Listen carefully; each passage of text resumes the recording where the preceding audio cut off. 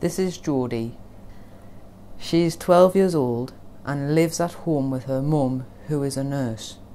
Recently, her mum's new boyfriend moved in with them.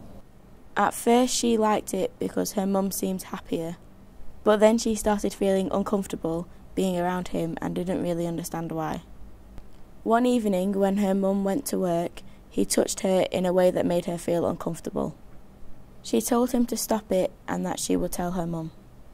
But he said her mum would be cross and that it would be their secret.